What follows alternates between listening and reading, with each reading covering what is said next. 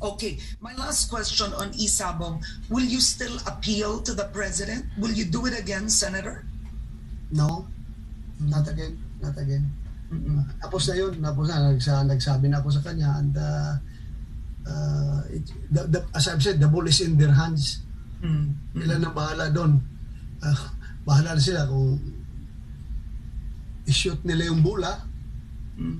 Or the victory of the Filipino people or uh, i-dribble nila yung bola to hanggang matapos itong uh, uh, 18 Congress Mm. or ipasa nila yung bola sa labas uh, out of bounds para babalik yung uh, ball position doon sa opposing team.